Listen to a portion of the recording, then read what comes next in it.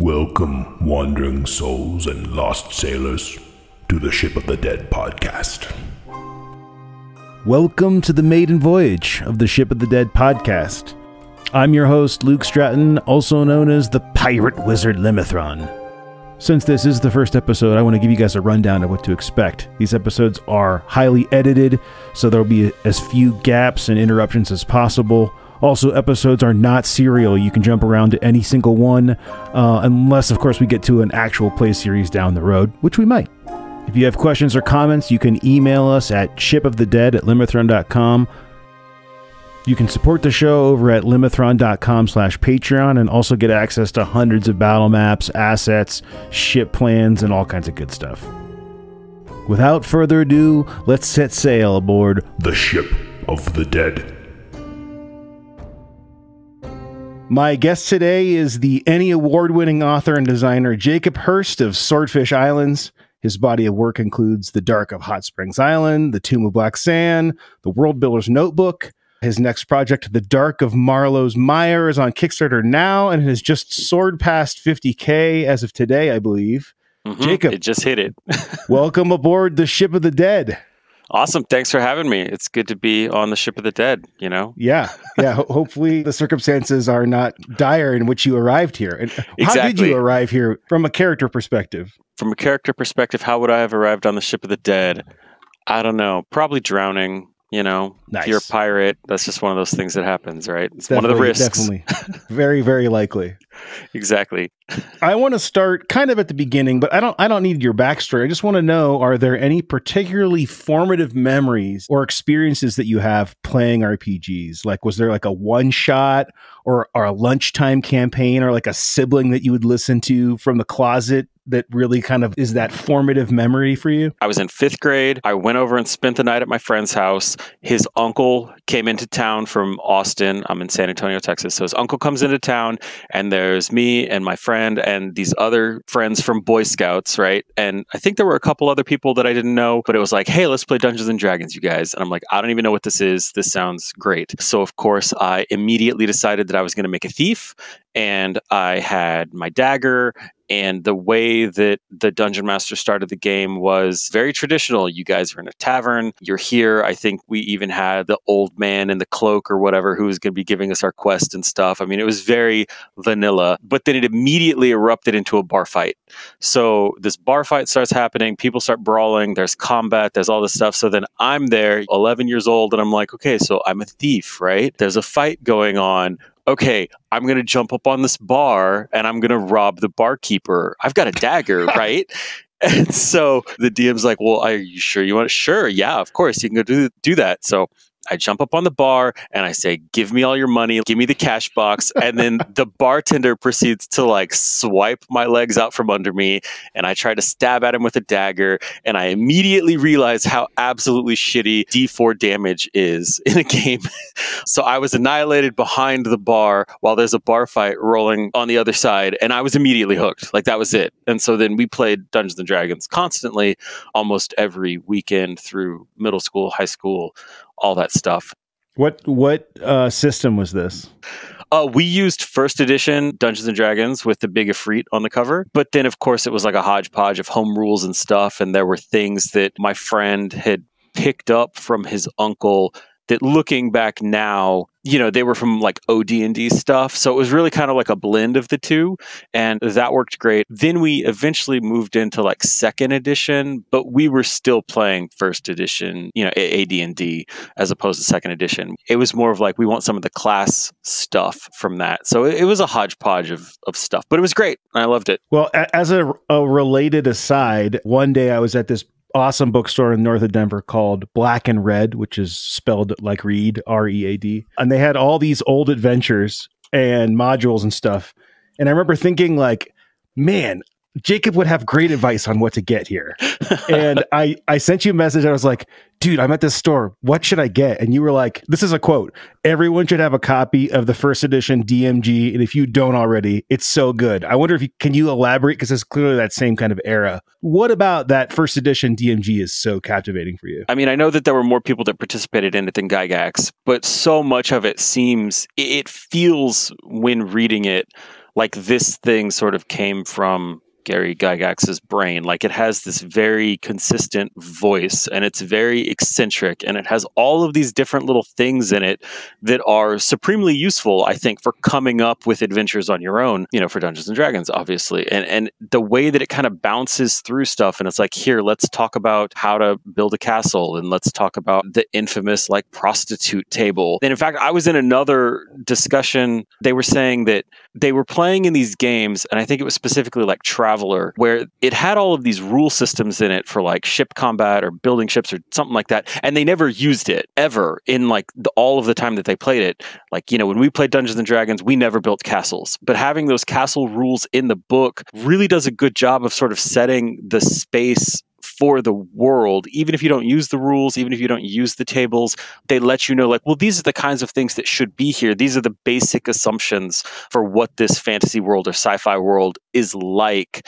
And that just makes it easier for you to fit things in. But, you know, again, just all of the, to go back to the, the DMG particularly, just every time I read through it, it feels like there's something new. And I've read through it so many times over the course of my life. And it's just like every time there's just another little thing that jumps out at me. One of the things that I've been super, I don't know, I'm almost obsessed with, like, I really want to run an open table game where people can come and go and the player base is, is shifting because apparently like i didn't know this when i started playing apparently that's the way that it started out as right is that you had this open table and people would come and they would play a character and they would go away and and that piece of information a lot of bloggers and stuff started talking about it recently.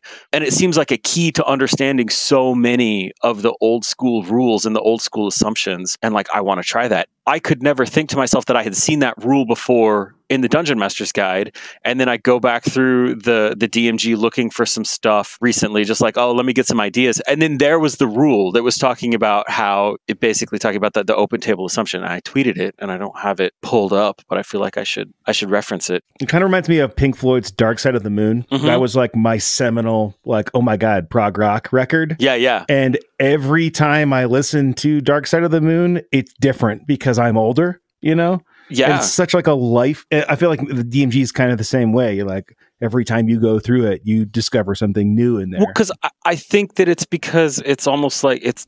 Oh my gosh, I, am gonna I'm gonna do it. I'm gonna go over the edge. I'm gonna say it, it's it's like a piece of art, and you're coming to it, and like you're bringing your assumptions, but you're seeing this sort of whole singular creative vision from one person. And so every time you interact with that, something like that, I think you're going to pick more stuff up. So, I mean, if that's a painting, if that's an album, if that's the first edition Dungeon Master's Guide, I mean, because sure. it, it makes sense because it all came from one brain, even though I know it didn't, but like it's still, there yeah. was that single unifying voice, at least, that came through. So I don't know. I want to talk about your output as a creator. I feel like you are on the unique scale of creators in that you really put I, for lack of a better word, love into your products. And I think as a point of example, I want to use Tomb of Black Sand. So I just a little backstory here on Jacob and I. I discovered Neverland 5e in Barnes and Noble. Loved that book. I was like, this look doesn't look like a 5e. I bought it. It's and great. I'm like, this is a great way to do a book. And Andrew Kolb's coming on the show in a couple weeks, I think. Oh, awesome. He's such a good dude. Oh, he's incredible, dude. And I get to the like acknowledgement credits page and he's like, yo, just check out Hot Springs Island. Basically like a, com- a command. I'm like, what? I like, I don't know anything about the OSR. I don't, I've never heard of Hot Springs Island. And I go to your website and I buy basically everything. and, and I put in a message in the comments and I'm like, hey, if you guys ever want battle maps, like hit me up. And you hit me up, uh, which I was just not expecting. So we ended up doing this Tomb of Black Sands Foundry module where I redid all the maps in full color, blah, blah, blah, blah. You can check it out online. But I just wanted to say, like, I remember going through the process, and I think most publishers would have been like, all right, here here's the book. You're going to do a map. Let's put all this stuff in there. But I mean, I have a list of the things that we did for that. You hired new art, new cover art, music, little voiceover snippets. We had Gabe remake tokens for every monster, full color, which he doesn't usually do. We did a a town map that wasn't I mean basically we like remade that whole thing and I just I remember coming out of the experience being like man, I wish more creators had that level of enthusiasm for the thing that they're putting into the world. I, I, just wanted to see if you could maybe talk about that a bit. I'm trying to think of the best story to tell to encapsulate that. The the summary line is when we were working on Hot Springs Island, the thing that we would say to each other all the time. Well, and when we were working on Swordfish Islands, because that's how it started. We're working, we're making Swordfish Islands, and we're making this chain of islands, and we would be brainstorming stuff up and we would say okay we're going to go big or go to hell go big or go to hell and that was kind of our, our refrain but maybe a better story to tell is when i was in when I was in Boy Scouts, we went to summer camp one year and we had these half wall army tents and that, that we were using to to camp in. And so me being who I was and having my my Dungeons and Dragons stuff and having my magic cards and having you know the big sort of trunk that my clothes were in for the for the trip I started talking to people and I was like hey guys with these half wall army tents we could put them together and we could like make a big a giant tent. And so I think I got there were at least four maybe five tents that we all put together and we sort of connected the tops and made this sort of like over overhang area. So we had our sleeping area and then there was a large middle section where we were able to play games and play magic and play D&D, you know, at nighttime and have our lanterns and everything like that. And I just remember at one point the scoutmaster came over and he's like, "What's going on over like who's tinted? Oh, Jacob, you're the one who came who had the idea. Okay, I see. I understand now. So I don't know. I don't know. I just I want it to be if you're gonna spend the time to make it, make it as cool as possible because I, I don't know. I, I don't know if that's super pretentious or what, but it's like that's what it needs to be. And, and the, the thing that was so tricky for me mentally, I guess, about the Tomb of Black Sand in particular is that the book and the Foundry module or any virtual tabletop module, they have different abilities. Like they have different things that you can do. So I'm like, you need to have that stuff in there. Like in the Tomb of Black Sand, you've got a singing banshee and I was on Instagram and there's this lady Nina Diaz who was in a who's here in San Antonio. She was in a band called Girl in a Coma and you know I love their music like we played the Girl in the Coma version of As the World Falls Down like their cover of As the World Falls Down from Labyrinth. We like we played that as one of the songs in our wedding when I got married and so love that song, love her work. She's posting on Instagram around the same time saying like hey, you know like I'm taking commissions like if you want me to sing a song for you know do a cover for somebody that you love or whatever like just hit me up and we can we could talk. So then i was like oh so are you taking commissions? Do you want to sing some like banshee kind of lullabies? And she was like yeah sure.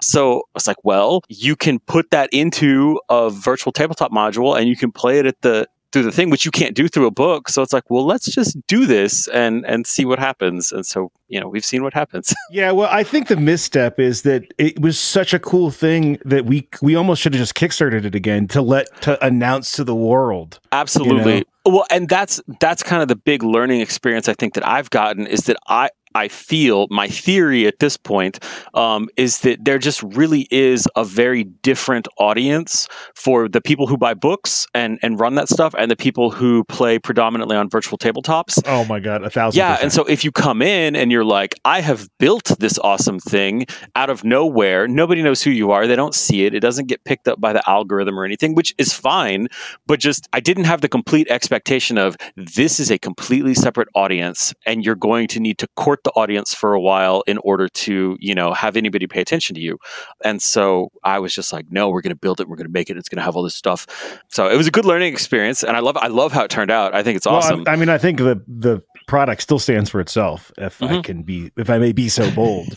but I mean, I had a similar experience with my Patreon and then my Kickstarter, where oh well, like I have a Mailchimp, right, and I have like all Mhm. these emails I've collected from people co- joining and le- like leaving and joining the Patreon, you know. Mhm. And then I ran my Kickstarter, and then I was like, okay, it's time to m- merge in, and I expected there to be, you know, maybe a fifty percent overlap of people who kickstarted a book versus people who buy virtual tabletop maps. And my email list pretty much doubled, which is Yeah. great for the size of the list, but like I couldn't believe how little overlap there was. Mhm. And I really I really just think it's not that they're two different groups, but I don't know, maybe they they're just people consume things differently. you Yeah, know? well, it's a different approach. It's a different approach when you're playing. And, and like Olivia Hill did a tweet a couple days ago that was very interesting, I thought.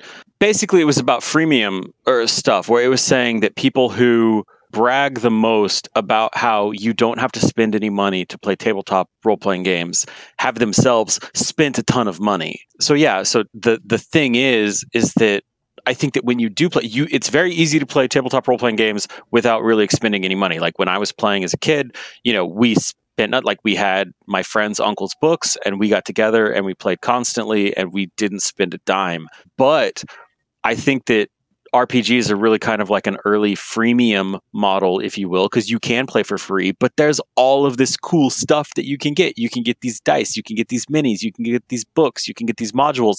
And so over the course of like 10, 15, 20 years of playing, you accumulate all of this stuff and you accumulate all of these resources that are kind of tailored to the way that you and your group likes to play.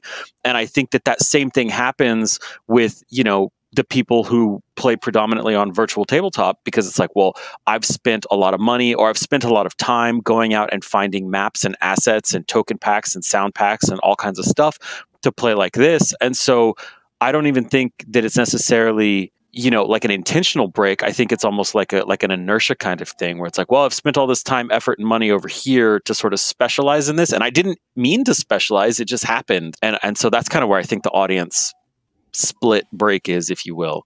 Yeah, and I mean, I think you can't ignore uh, the pandemic in the VTT conversation. Absolutely. Absolutely. I think, you know, so many people found a new way to play. And, you know, I, I know for me, when I'm prepping before I got into being a professional creator, when I'm prepping games, like I prepped by finding visual assets. I'm very visual. Like I mm-hmm. want to see those assets and I would collect all these different maps and I would even in, in person, I would print them out at FedEx office or whatever. But then I found as I actually go to run games, like I don't want to be limited by the maps. Yeah. I actually like to just go totally nuts. And then when you explain things to be, you know, so the two are are disagreeing with each other at sometimes. Well, I think it's the starting point. I think it's the frame of reference. It gives you sort of context, then then you go from there. Because I mean, that's the thing that makes role playing games forever better than a video game because you can literally do anything. Like you can decide that I'm going to climb this wall. You can decide yes. that I'm going to start trying to you know dig a hole through a mountain. As stupid as it sounds, like no, we have magic and we're going to figure out how to do that. Which you can't do that kind of stuff in video games unless it's been programmed in in some way. You know, it has to be able to account for that kind of thing. So I mean, yeah, you start with you start with something. You start with your framework, and then everybody goes crazy and off the wall, and you know, or the climbs the wall, and it's great. Yeah, exactly, absolutely. I wouldn't trade it for anything. I mean, that's a lot of what makes it so so special, I guess, in a way. I want to talk to you about the Dark of Hot Springs Island sure. for so many obvious reasons. And then I think from there we can curtail that into Marlo's Mire. But the Dark of Hot Springs Island is in a lot of ways like the seminal hex crawl now. People just kind of reference it. I know you may not feel that way, but especially in my Discord, you know, I run a pirate focused Discord people always bring it up is if you're going to run a jungle hex crawl, you need to at least look at the Dark of Hot Springs Island. Yeah. So I wondered if you could talk a little bit about the origins of the mechanics. Specifically, there's three things I really want to talk about the navigation system with the poker chips and the time of day kind of thing, the description style with you know the main bold word and then the subdescriptions in brackets mm-hmm. and then the random encounter system the whole 3d6 motivational table thing maybe you can tie those all into one big answer i guess ultimately the thing with the swordfish islands and the, the way that i approach all of this and have approached all of this is that I've been making things that I wanted to make for myself, but I've also been making things to try and solve the things that I am bad at. So I have always felt when I've been running games or playing games that like overland travel is really freaking difficult when you're playing, I mean, anything. Like it kind of goes into the idea of the mythic underworld.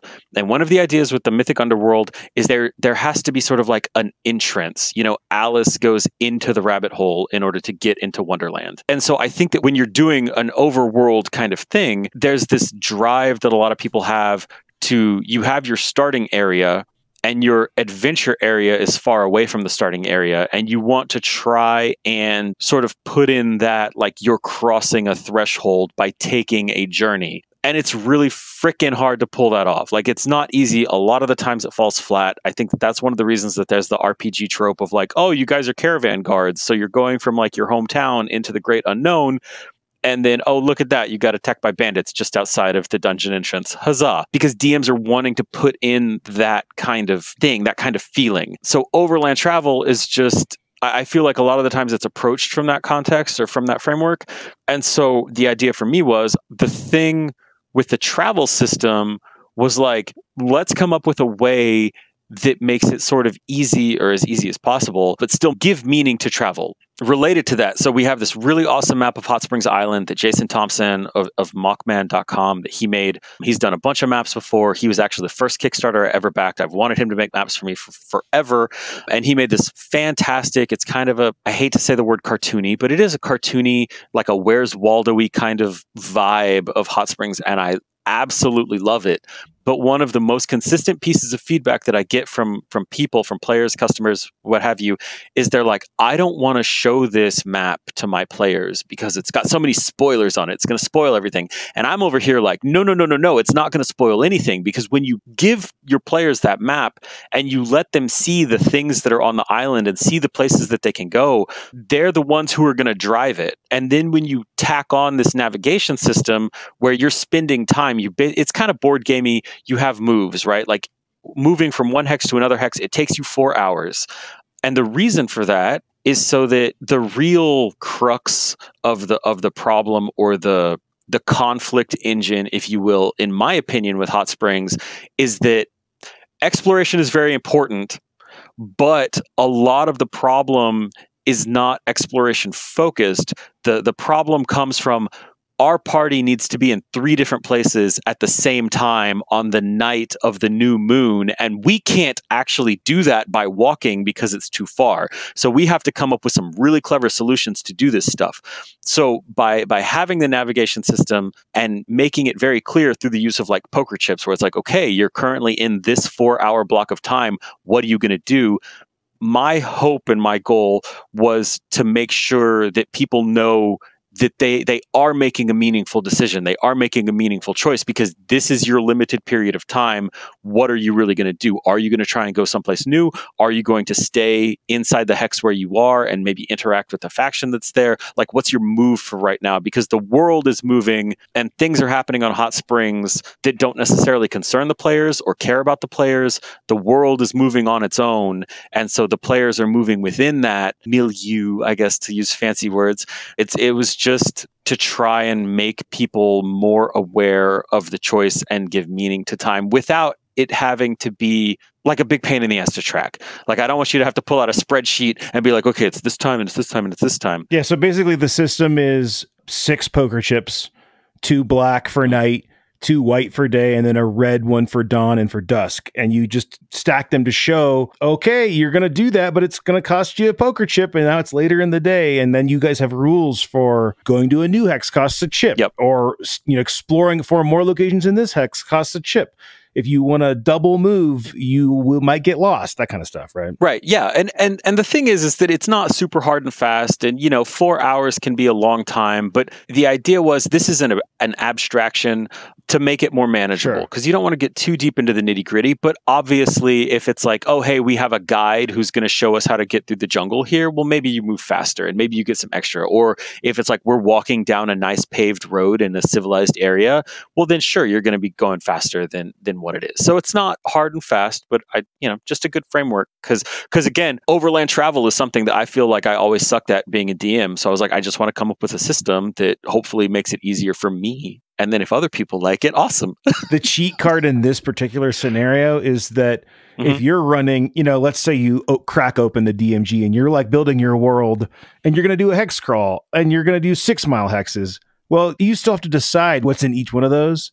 And in Hot Springs mm-hmm. Island, there are two mile hexes and there are three really cool things in every single hex. So it's it's kind of like you also are providing the prep that a GM would need to do that overland travel and have it be exciting, you know. Yeah, well, and so and then that that leads very nicely into yes. the next thing with the the bolded words and the way that we we did the descriptions. I think because we wanted there to be a ton, we wanted there to be a lot. One of the things that I was thinking of a lot, and I guess I'm still thinking of a lot, is that I think there is okay. We're gonna get we're gonna go out into the weeds for a moment, but I think that humans over time, as we have existed on planet Earth, have done a whole lot to figure out how to deal with scarcity. We have a lot of systems, we have a lot of solutions that are like, these are ways that people can deal with scarce resources, scarce time, scarce whatever.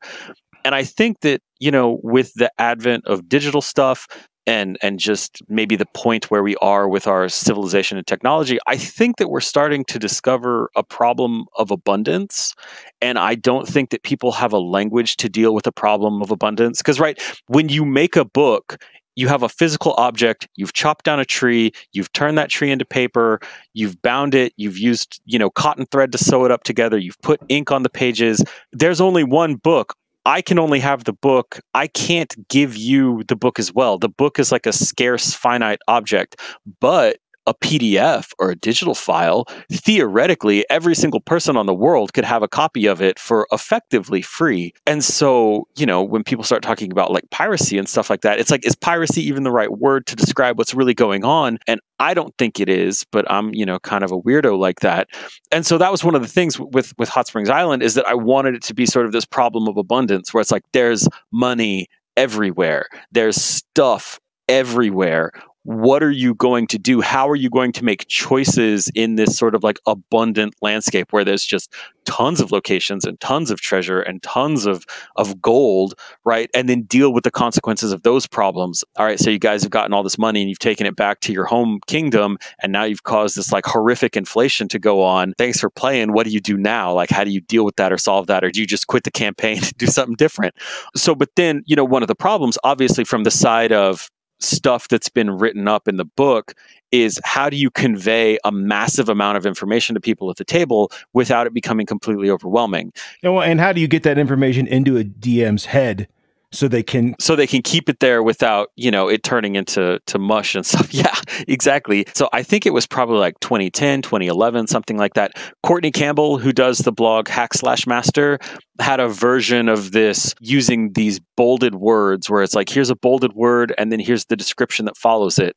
So for example the bolded word will be chest and then in parentheses or brackets or just in a different you know font following that word chest it'll say that it's you know oak and it's got a rusty lock and it's got whatever. So the idea being that when players come into the room you can easily say like oh there's a chest and a bookcase and a rug on the floor. And then the players then they say okay well i want to go over and i want to look at the chest. And then at that point then you say all right, well, it's you've got the rusty lock on it and it has this and this and this. And you describe things like that. So you, you go through because one of the most important pieces, and this is something that Bryce Lynch over at the 10 foot pole blog, who does a bunch of reviews, he harps on this all the time, saying that like the core interactive loop of playing tabletop role playing games is that conversation that's happening between the player and the dungeon master. And it's this, it should be a constant back and forth. Where it's like, okay, you see this thing what do you do? Okay, well, I'm going to go interact with it. Tell me more about it. All right, well, here's the more about it. And so the the breakup of that bolded word followed by that other stuff is, you know, I think a great way to handle that. But the thing is, is that I think that the reason that that post that Courtney wrote resonated with me so much is because the very first game that I got on a computer ever was Ultima 6 by Richard Garriott and everybody. And the way that that game worked is when you would go and talk to a non player character, they would start talking to you and in their text block there would be words in red like big bold red words. And so in order to get more information you would type the red word that you wanted to know more about and so then that would run you through the dialogue trees. So as soon as i saw like oh hey here's an idea for putting in bolded words into the text i was like dude it's like ultima this is such a good idea. Why am i not seeing this more? This is great. And so we ran with it and that's how it was yeah, my biggest takeaway immediately upon I think it was looking at the free PDF you had on mm-hmm. Swordfish Island's website was why I was almost mad. why aren't more RPGs written this way? Yeah. I'm a visual guy, obviously I'm an artist and I love to read but like uh, my ADD takes over. I can't read 30 pages of a RPG with no images. But when I when yeah, I open no, up like here I've got the Lapis Observatory. Like this is servants quarters just as a demo, right? Servants quarters mm-hmm. number 4. It's got door, beds, chairs, trunks, fireplace shelves, cupboards, kitchen implements, drug paraphernalia. That's all I have to know to know what's in that room. Yeah. But then you can drill down. Like if you look at the chairs, six, wingback, velvet, fallen, ruin, broken, crystal coating. Like there's so much information conveyed but it's almost like this is the what you're talking about adventure video game extrapolated back into a book where you're clicking on mm-hmm. them as a DM to learn would you like to know more you know well that's one of the things that made foundry and making a virtual tabletop thing so interesting and exciting to me because then you literally have a button that's like chair and you click on it and then it has the other description. Yeah. So you only have to fill your mind with what you need to know at the moment. And so then the book or the virtual tabletop adventure can do sort of all of the heavy mental bookkeeping for you because it's really good at that, yeah. you know? So like offload that hard shit, right?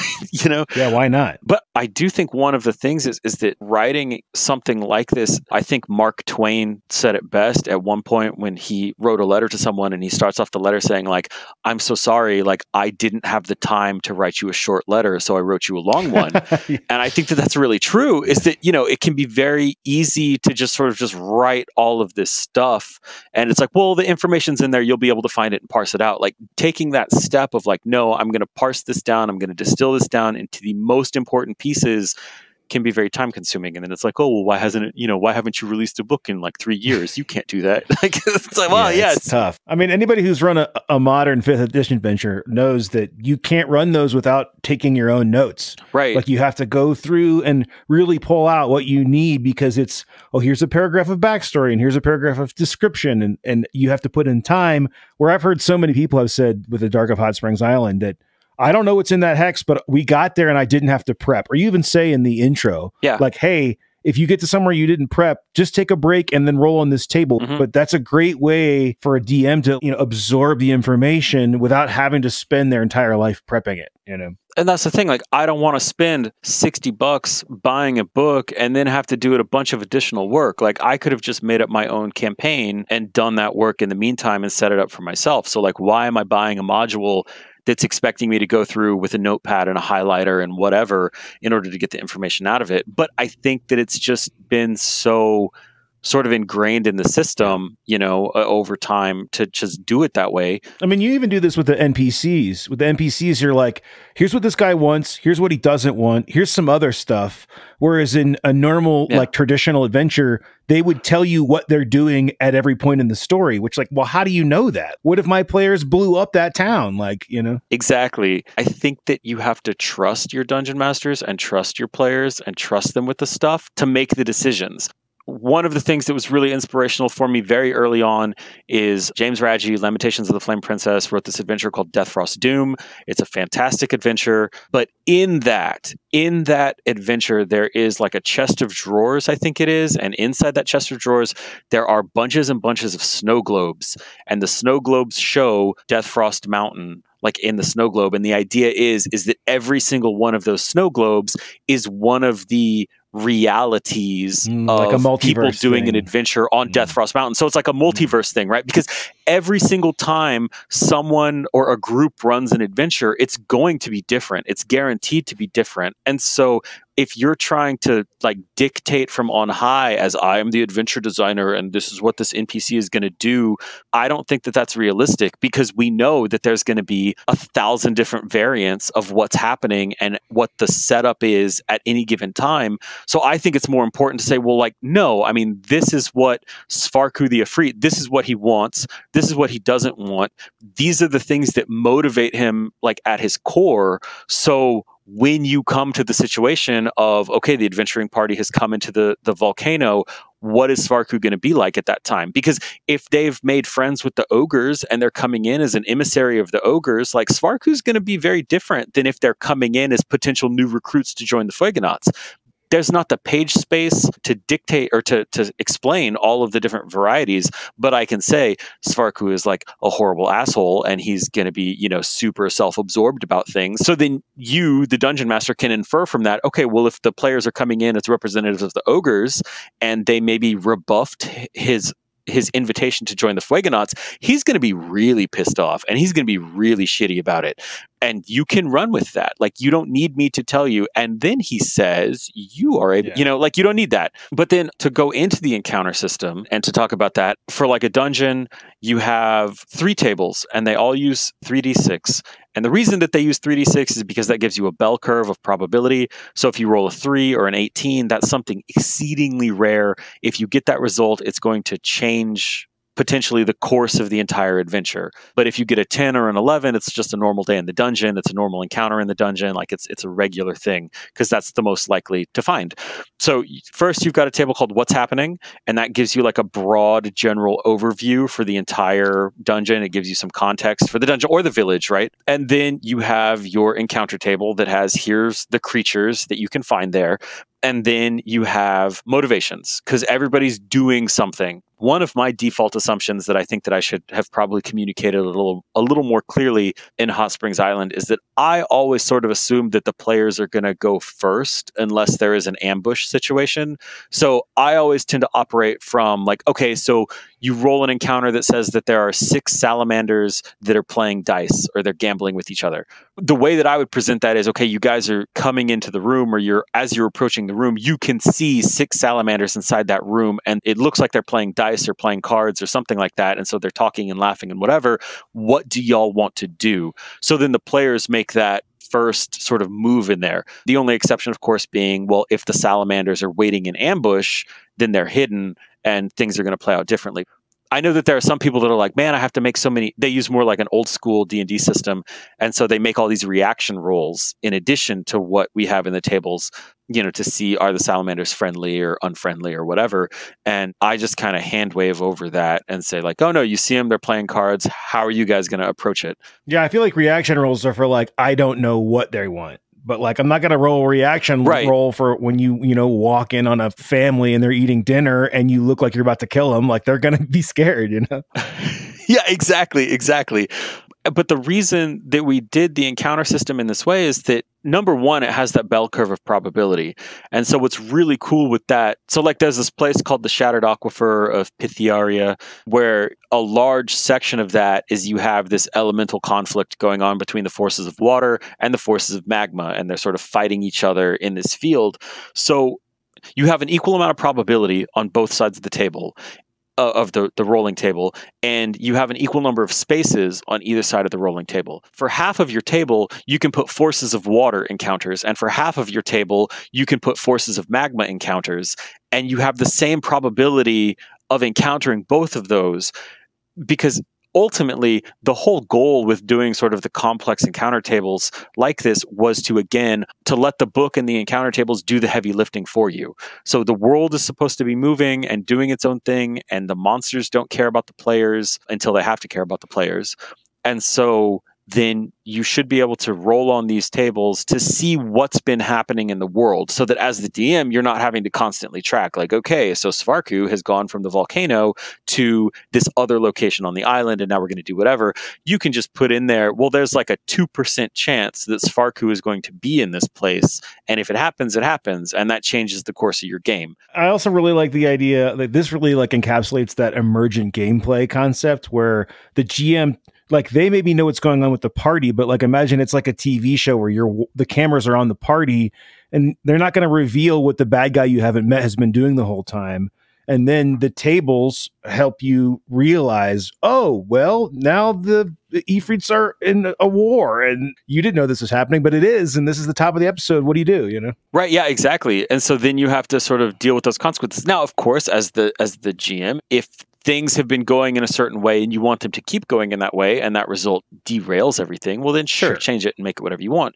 But if you want to be more, I don't know, naturalistic and say like, dude, here's what's happened, like here's the new reality, like what do you want to do? Like I think it does a really good job of, of doing that so that you can fly sort of more by the by the seat of your pants, let the let the chips fall Sure. where they may and and you know, go from there. All right, I have a few more Hot Springs Island questions. Sure. I wondered if you could speak to me about the use of Transat font. What is there a particular reason you picked this font? I love fonts. I know you know this. I love your layout. Why why Transat? It's the it's the font for the entire book. Like for all the titles, for all the mini text, it's the whole it's the font. the first edition D&D books, which made a big impact on me, are all done in Futura, you know, to get all the faces and everything is a little more expensive and I didn't have the money at the time. And there's this great website called Design Cuts and they will do bundles of stuff where you can get like a bundle of fonts for 29 bucks and you get all of these fonts and they had Transat up there, and it's kind of I think it's sort of like a modernization. I was going to say it looks like a more futuristic Futura.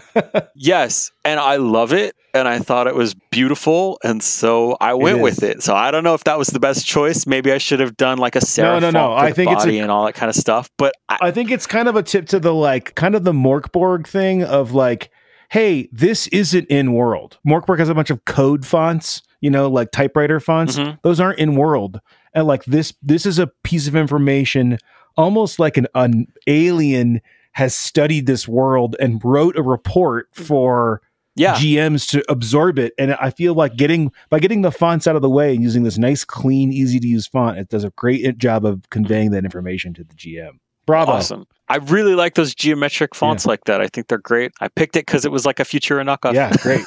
My next question is why do you think there aren't more books like the Field Guide to Hot Springs Island?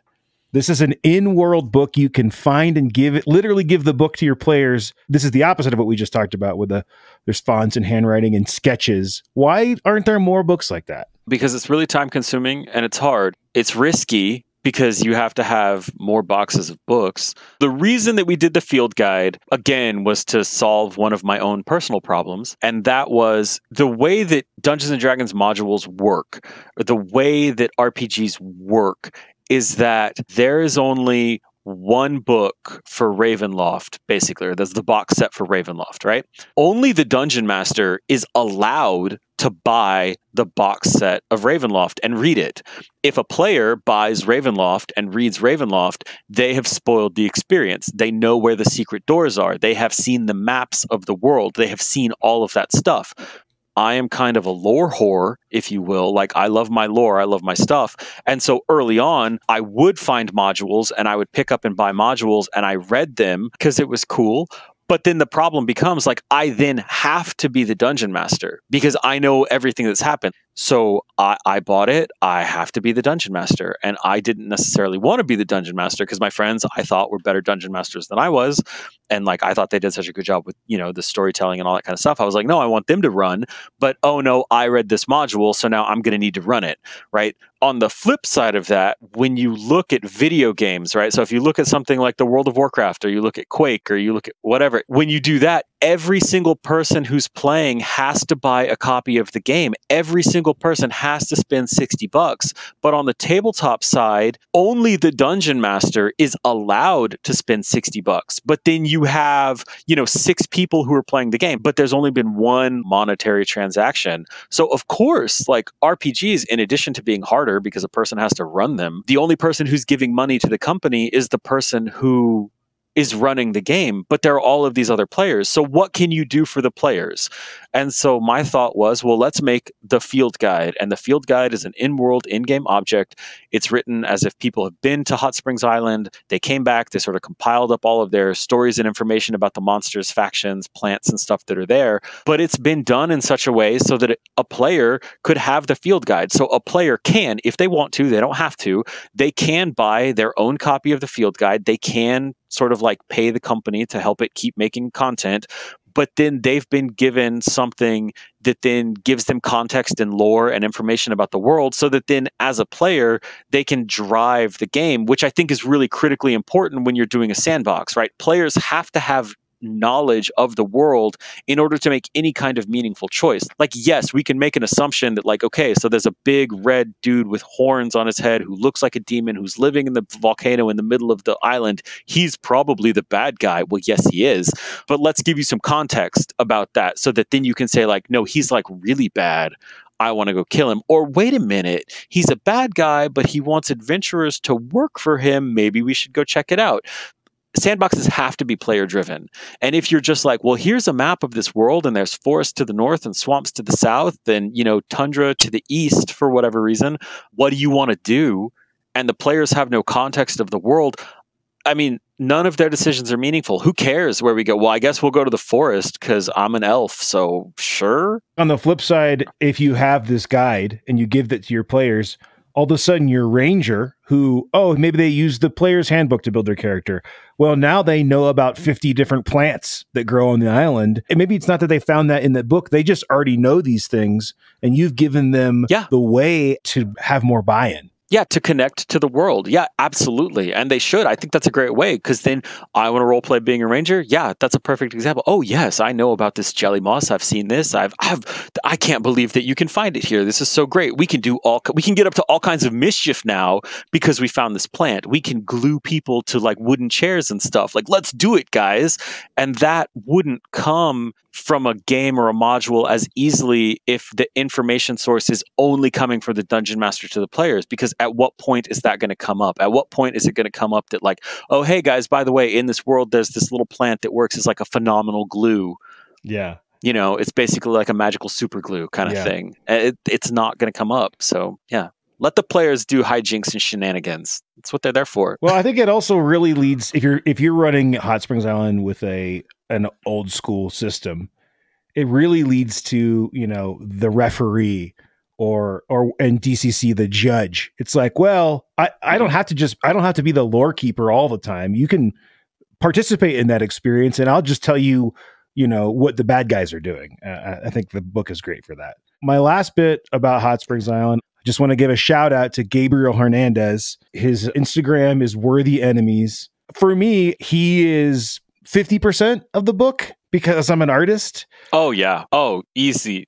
75 yeah it's just like it it's black and white line art. I think you said he did most of it with a ballpoint pen, and you had to scan it in. No, it's all pencil. Pencil, pencil, it, and it's, it's, all pencil. But his, it, yeah. he has this like kind of it's like comic booky, but like oh, I didn't finish it, but in a way that captivates your imagination more. I don't know. I've heard you say before that the fact that it's not colored is is better, and I I couldn't agree more. I just want maybe you could talk about your relationship with him. Sure. First off, with the artwork for Hot Springs, like we kind of he sort of hated me a bit because I said like, no, dude, I want you to leave like the sketch marks. I want you to leave the sort of unfinished lines where like you started doing a circle over here for the shape, like, and there's you know remnants of that. You didn't erase it all the way. Like, I want that in there. And for me, that all goes back to the idea that every single game of Hot Springs Island or any RPG is going to be different for that table, for that stuff. Everyone's going to imagine all of these creatures differently. They're going to see them differently inside of their head. And so I think that when you have this more sketchy black and white art, it leaves it open to more potential and more possibilities. When you start putting color on something, like you lock it down. Like, yes, we know that Svarku's skin is red, and we know that he's an Ifrit, and we know he's associated with fire but the way when I say like, oh, there's this dude with red skin, you're going to imagine that red in a different way than somebody else is going to imagine that red, who's going to imagine it differently than another person who imagines it red. But as soon as you do a color like here is a drawing with this shade of red, you sort of fix it in place more. And so I wanted it to be much more open, where it's like, let it go anyway. We're just giving you this framework. We're just giving you this idea. We're going to tell you some words. And we know that those words are going to be interpreted differently. And that's good. That's okay. Like we need to embrace that reality of, of RPGs and roll with it and so like in the beginning he was like are you sh- i feel like this is so unfinished. I feel like i need to ink this. I feel like i need to do this. And i'm like no no no no no. This is literally perfect. Like leave it like it's this. perfect yeah. And he's like i i, I can't yeah. but no i think it i think it worked out great. I love i love it. I love his artwork so much. Well he's just so naturally talented that like his sketches are better than most people's finals you know? Like his right. fo- his well, form is like it's incredible yeah I don't want to dog him on this. There are so many artists out there that like I follow on Instagram because I'm I'm always looking. I'm always looking for artists. And there are so many times where I feel like so many artists like their sketches are better than their final. Yeah. Like there's almost this point that when they start rendering it, especially with color, color yeah. is so fucking hard to do and I find so many times like I'll see artwork that someone's done and it's got color on it, and I'm like, oh, I don't like this. And then I see the sketch, and I'm like, oh my god, this is amazing! Like I want to work with this person. like this is so great, but like Yeah. you're not allowed to color anything, yeah, you know. Yeah. But then how do I say that right without being like a total horrible asshole? No, you can't. Yeah. I see that with some battle map makers where you're like their old stuff is more in line with what like they got better at per- certain elements that I actually don't like in battle maps, you know. kind of one of those things. Okay, so I think that brings us to the topic of the day, the big real reason we're here, Marlo's Mire. Can you Mhm. give us give us the elevator pitch for this new expansion into more Swordfish Islands? Yeah, so Marlo's Mire is the smallest island in the Swordfish Islands. There are multiple islands to the Swordfish Islands, and we have rough notes for locations for three points of interest in every single hex on the Swordfish Islands as a whole. And we, you know, we've brainstormed that out and we've kind of been sitting on that for a long time. But the thing is, is that at the time we started making it so big that it was like, well, we have to do one island and get that one island done. And that island that we chose was Hot Springs Island. And so that's why that was the first one that came out. So Hot Springs is 25 hexes. There are two islands called the Spire Islands because they have this gigantic light spire kind of. I was calling it a lighthouse, but it's not like an East Coast lighthouse. It's more like that spire that's in the never ending story, Oh, you know, exactly what I was with the princess up in it. Like it's that kind of thing. Yeah. Yeah. The, the elves built it forever ago. Who knows what it really does? Do we even know what it does? I don't know at this point, but uh, they're there. And so we've been working on the Spire Islands off and on, but you know, everybody's got jobs and lives and kids and stuff like that. And so it's a process. But the cool thing is, is that both of those islands have lizardmen that live on them. There's like the green scaled lizardmen and the blue scaled lizardmen. And if you take those two islands together, they're 26 hexes total, which is approximately the same size as Hot Springs Island. So the idea was okay, we're going to work on the Spire Islands. We're going to put them together and release them together as a book because there's a lot of linkages between them and because it's approximately the same size density as Hot Springs Island. So it makes sense as a, as a thing.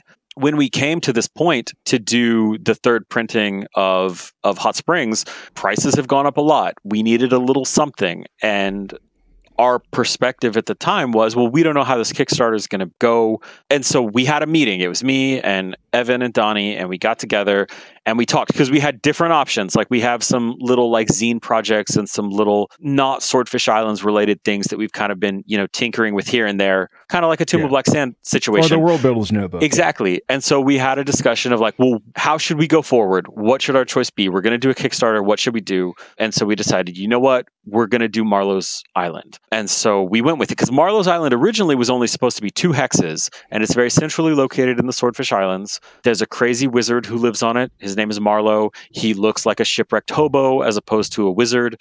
He's kind of crazy. So up my alley. It's not even funny. Yeah. He's kind of crazy. All he does is he brews alcohol, like that's his main thing, because the secret is that Marlo cannot actually get drunk. And so he's obsessed with finding something that can get him drunk because he got cursed for doing stuff. And also on this island, you have this gigantic albino crocodile who lives there that Marlo calls Walter.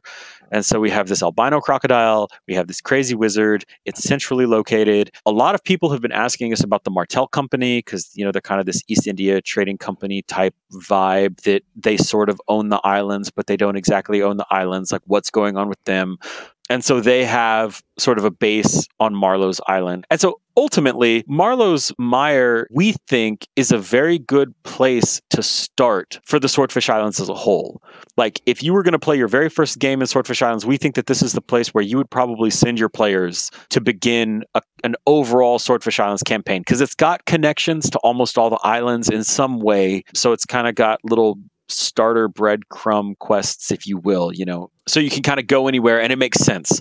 So with Hot Springs Island, you have Svarku, the evil Ifrit, who's living in the volcano. He has done bad stuff in extraplanar spaces and effectively he murdered some people or somebody important and he is hiding out on this island is, is what his whole story is.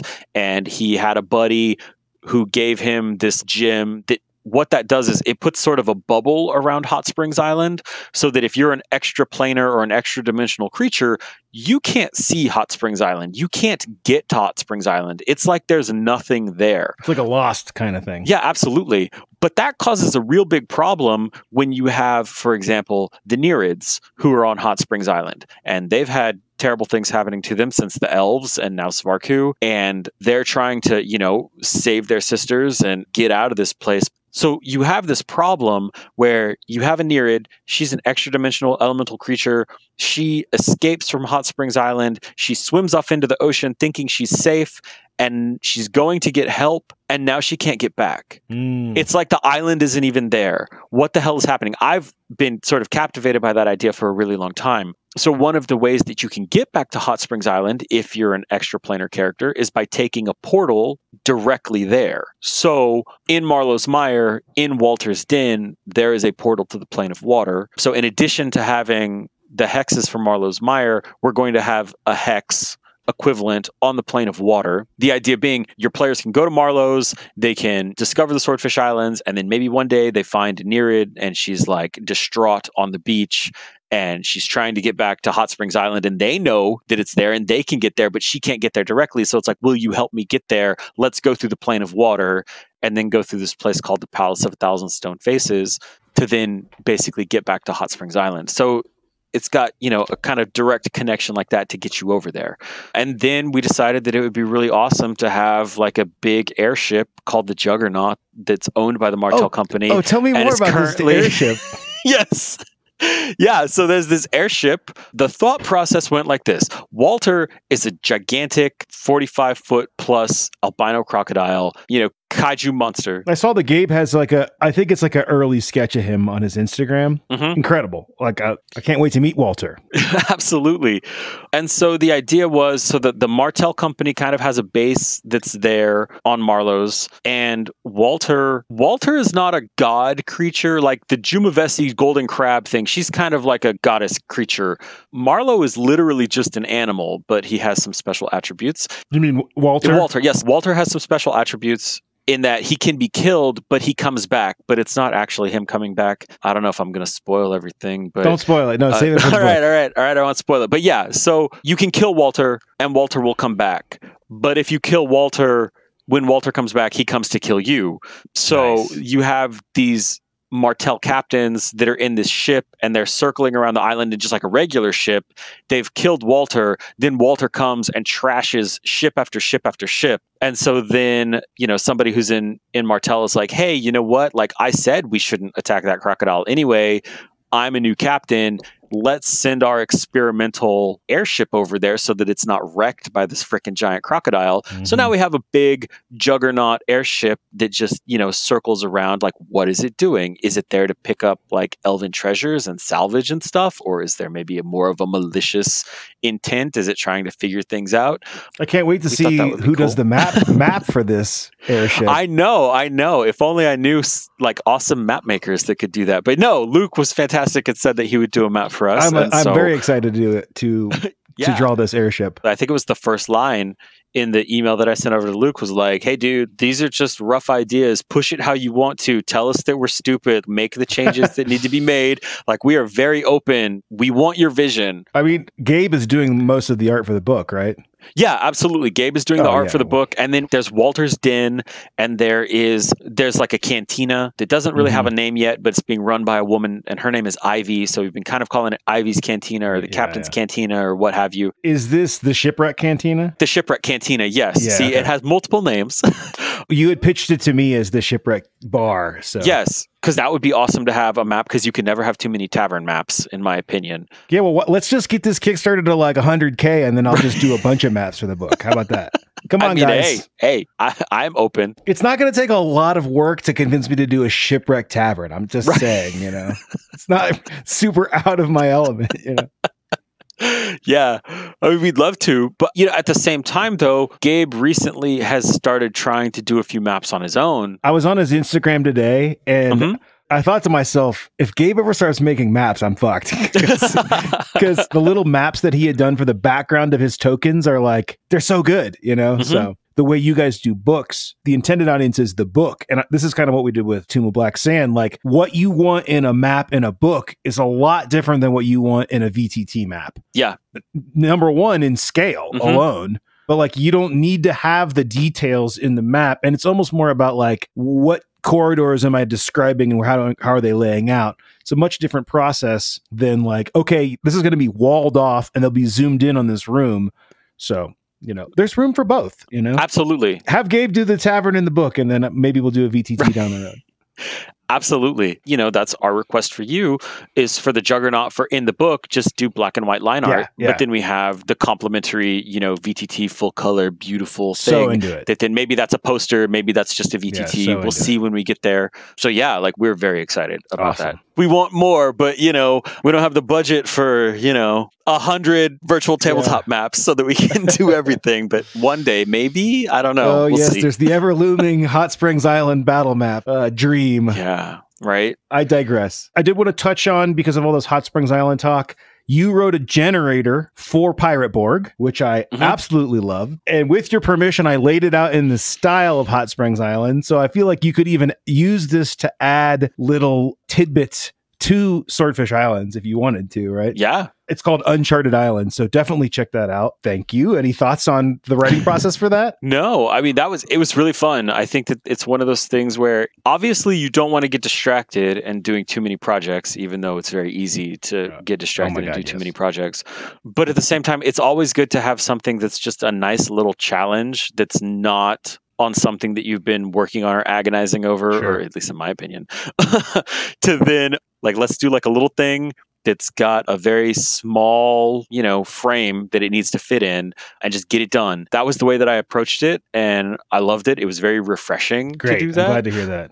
And I want to say from my end, I am unabashedly kind of a snob when it comes to what I like in my stuff. And there are only three contributors in this book. It's you and Pelle Nilsson, who wrote Morkborg, and Christian Eichhorn, who is a incredible Morkborg creator. So yeah, I, I I was like, uh, this is my book, but if Jacob wants to write something for it, I'm okay with that. So I have a few patron questions. Okay. Not Musashi has asked, "What is your favorite published adventure?" Okay. Well, I did. I got ambushed by Ben Milton of Questing Beast over at North Texas RPG Con, and he asked me what my favorite published adventure was, and I kind of punted, and I think I might also punt again. I feel like this is a bad answer, but maybe it's not a bad answer because I mean it was hugely influential on me at just the right time or the wrong time in my life. I would think I was like 15. My cousin gave me Planescape, the Planes of Chaos box set, and one of the things that I also got was the Factol's Manifesto. And so with the Factol's Manifesto, you had I think it's like 12 different factions, and they're all detailed out in that book, and they're all kind of like integrated with each other and they all have the things that they want to accomplish and the things that are stopping them from accomplishing that stuff. And even though it wasn't done in the way that hot springs island was eventually done with like what do they want what do they not want that book and that idea of these these factions of people wanting different things and being entangled with each other in these different ways and having this sort of like overarching uh, philosophy that guides them was just dramatically influential on me and it was something that really set the set the tone and the stage for a lot of the stuff that I've done since then. At the same time, there are tons and tons and tons of phenomenal adventures that are out there, and I have many of them on the shelf behind me, which you can't see, but we can see in the video, you know, as we're chatting with each other. So I mean, I don't I don't know because there's there's a ton, and also you know one of the things like I've always run my own adventures for the most part. Even if I had adventures, I was still making stuff up, and I was still playing in games where people were making up their own stuff. So I don't read a lot of adventures. There are some where I mean I do feel kind of especially like Zine Quest. Zine Quest is like terrible for me where I'm like, okay, listen, I'm probably never going to run this. I may not even read it because I have so much other stuff that I'm reading and doing and working on, but like I want to support this creator and I'm going to throw them 20 bucks because like I love what they're doing, but maybe I didn't read it. with the zine thing and especially this kind of more new school layout art way of doing RPGs, Mhm. you can become influenced by a product without having read it all. Right. For me, uh, the way I create, I have definitely been influenced by things that I own that I have not even finished or maybe even started just because of the the vibe or context. Or like a lot of the mothership stuff is like that. Haven't read it all, but Yeah. the way that they're laying it out, boom, I'm stealing that. You know, Well, and also one of the things too is is that there is this sort of like nagging voice in the back of my head sometimes that's like, well, Jacob, since you are making adventures right now, you should not be reading other people's adventures because I don't want to like steal their stuff at the same time. Like I don't Yeah, want they it want to be influence. whatever. I had some people like early on when Hot Springs Island came out that they were like, "Oh man, this is like a better version of the Tomb of Annihilation," and I'm like, "I've never read Tomb of Annihilation. I don't Uh, know they just mean about they it. just Like, mean I jungle haven't hex crawl. Well, sh- yeah. No, Yeah. exactly. Yeah.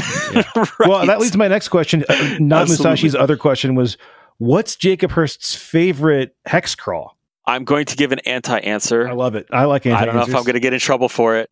It's probably about 10, 12 years at this point. But I was at Dragon's Lair in Austin, one of the best like tabletop role playing game stores, or well, just, you know, like hobby shops, right? Dragon's Lair is fantastic. Love them.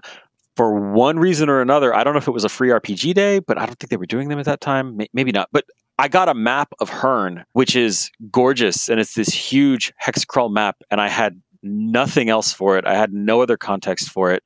But it was just like, here's a big, beautiful hex map with nothing that went along with it. Obviously, I know that there's books and stuff, you know, now, but at the time, like I didn't fully realize that, I guess, because I hadn't checked it out. And so that was one of the things where even then when I when I started looking into it, and I may be misspeaking, so I please forgive me if I didn't do enough homework. But at the time, as I started looking into it, I was like, there's so much empty space here and it's gigantic. I don't like that. I don't want to do that. Yeah. I want to do literally the opposite of that, where you have a small space that's super dense. Oh, so you're saying the influence is how not to do it. Yeah. Okay, It kind okay. of, for me, it was. That's why it was sort of an anti Yeah, no, like it. but it was because it was such a beautiful map. It, like, it was gorgeous and I, I loved it. But at the same time, I was like, this is exactly what I don't want to do because I felt like it was all flash and no substance, kind of. And so I was like, I want all substance and no flash. It drove me at that time. And maybe I was being driven off of bad information or I didn't have all the information and I should have spent more time looking for the information. But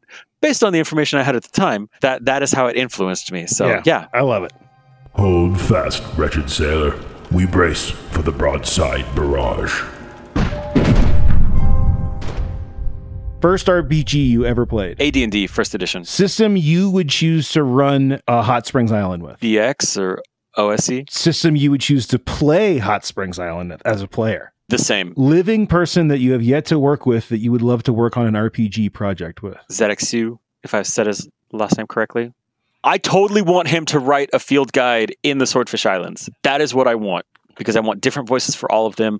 I want him to do one at some point because I think it would be phenomenal. I love his stuff. You must check him out. He is so fantastic. What would we know him from? Thousand Thousand Islands. Most recent RPG system you've played. Most recent system I played was fifth edition D and D because I've been playing in a 5e campaign with some friends for a couple years now at this point. But the most recent system that's not fifth edition is Hubris by Mike Evans because I got to play in one of his games last month and it was so much fun. It's so easy to just start and play, and that is wonderful. I'm very into systems where it's just like, okay, it takes five minutes to make a character and now you're playing. System you've yet to try but want to. I mean, maybe you could alternate, but system that you have not played very much of that you would like to play more of. Mm. Well, Pirate Borg, of course. oh, you sly dog! I only got to play. I only got to play in one game. I, I, want to want to It was nice. here that I actually use you as an example because when we played Pirate Borg on that stream, you know, like I think Mhm. especially coming from fifth edition, a lot of players are like, "How can I do the most damage right now? How can we win this encounter?" And we would get to your turn in that Pirate Borg and thing. You, your guy would I forget his name, but he would be like, "Oh, I run and hide," and I would I just like. Oh, we're never going to win this encounter that way, but I wish more people would play their characters like that. I really, I really loved it. You, Jacob Hurst, are suddenly a fifth level PC. What class are you? a thief, maybe a ranger. I don't know. I'll pretend. Add an entry to the What's in the cargo hold of the Ship of the Dead D100 table. Uh, a broken statue of an angel that's very large, like a large broken marble statue of an angel. I'm imagining, like, uh, if you're familiar with the 40K world, kind of like a Dark Mhm. Angels, almost Art Deco style. Oh yeah, like a like an Art Deco style for sure. That's what I'm imagining. I was thinking more of sort of like a like a fallen Lucifer cast out of heaven, like screaming into the void kind of fallen Love it. angel. Yeah, like that. Yeah. It's the it is entry number one in the D100 Ship of the Dead cargo hold. Favorite size die. I'm bad with favorites. they all have a use. They, all have a different probability. Like I don't know. It, de- it depends on the situation. I mean, I- if I had to answer this for you, I would I would say Jacob is going to give a an anti answer and say three d six. I, yes, yes. Please get out of my head. And now, um, I just feel let's like you go. can't you can't talk about Jacob Hurst and not mention 3d6. Like if you play Hot Springs Island, you have to roll 3d6 like eight million All times. time. Yeah. Hot Springs Island location you are most fond of, either as an adventurer or as a designer. I really love the Temple of Tranquility. It was unexpected for me. Like it really came out of left field as we were going on and we really started adding all the stuff about the steam imps. And then I think it was Donnie, it might have been Evan, I don't remember who it was, but you know, we're joking about these steam imps being in there and having like a gambling den and okay, so there's like the stage where the bottom falls out and it drops you in if you're a bad performer and telling bad jokes so you can get eaten by the the centipede. Very Jabba the Hutt. Yeah, exactly. And one of them was like, "Oh yeah, down at the Trank Tank." And I was like, like the drunk tank, but the Trank Tank, and it's a bar, and and it really kind of opened up a lot of the idea where yes, it is a dungeon, but it's a village, Yeah, really, because it has like these intelligent creatures that are inside of it, and like I think it kind of became my unintentional favorite spot. And it's if you would talk to me at the beginning of the process of like what I thought I was going to like the most, that would never have been the answer, and it really surprised me. And I like the vibe. I love our little gambling steam imps. That Yeah, you it's know, it's kind of got like a cantina vibe in that you know. Yeah. it- shit could really go down there if it if it Mhm. wanted to, or it could become a new place where like your players start a little racketeering ring or something. You know. Exactly. It could be a base of operations, or it can be a dungeon, or it can be both. Yeah. Like, why not Yeah. everything? You know, Favorite libation or beverage during your RPG sessions, I really like ciders. I like Eastciders. like hard Um, ciders, alcoholic ciders. like hard ciders. Yeah. Yeah. hard ciders. There's a place in Austin called Eastciders,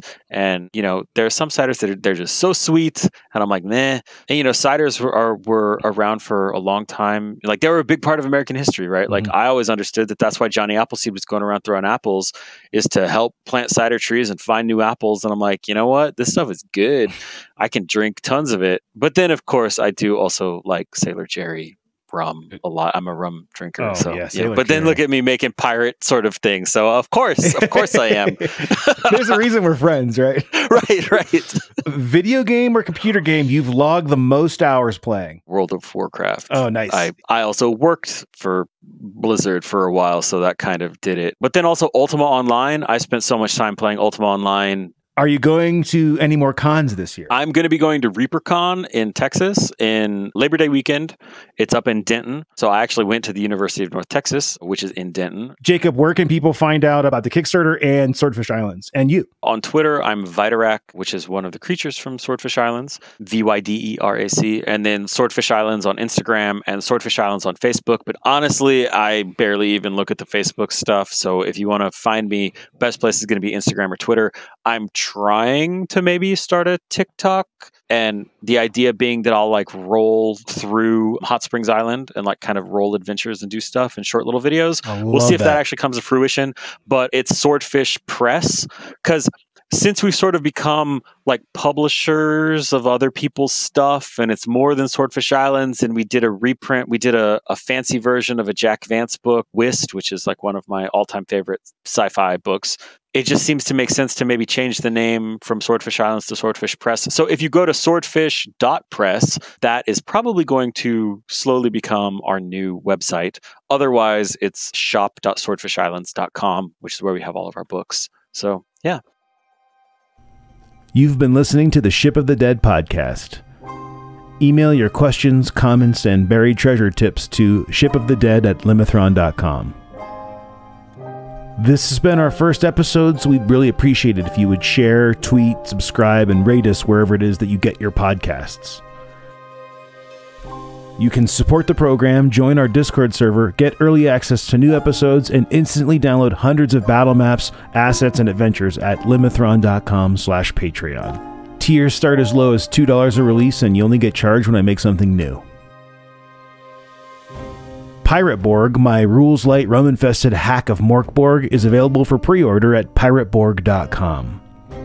Ship of the Dead is produced by Limithron LLC, our audio editor is Matt Keppler, and our music is by Alexander Miller.